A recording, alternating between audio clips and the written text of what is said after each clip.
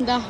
Assalamualaikum dan selamat pagi. Uh, saya Cikgu Ridwan. Uh, jangan lupa masuk ke channel Cikgu.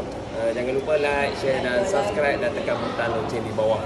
Okey, so hari ni Cikgu nak tunjuk macam mana nak buat aiskrim goyang. Okey, jom kita tengok. Bahan-bahannya. Okey, yang pertama Uh, yang ni flavor dia coklat tak kisahlah nak kalau minat strawberry ke apa tak kisah so yang ni nak aiskrim dia. Lepas tu kita ada plastik uh, zip ni yang kecil. Ya. plastik ziplock ni yang besar. Lepas tu uh, nak guna besen pun boleh. Dan kita ada garam. Okey garam. Dan of course lah nak buat aiskrim kita kena ada ketua ais. Okey Jom kita tengok cikgu tunjuk macam mana step yang pertama. Okey. Tengok ah. Yang pertama ambil yang kecil ni tuang dalam dia. Bismillahirrahmanirrahim.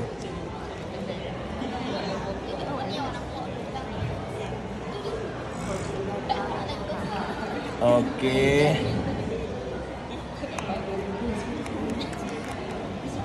So pastikan uh, zip dia lah. Ah. Okay. Eh, macam mana nak tahu? Okey. Maksudnya tak tumpah. Ha, tak tumpah. Tengok pastikan zip ketat ah. Ha? Okey, tu yang pertama. Okey, dah siap. Yang kedua, ziplock yang besar ni masukkan ais.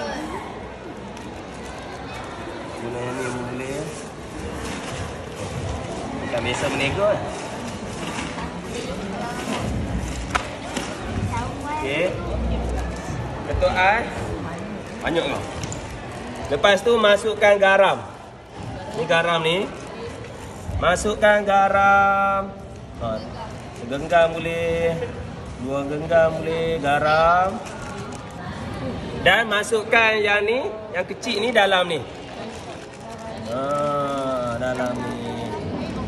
Okey, lepas tu zip dia. Okey. Okey.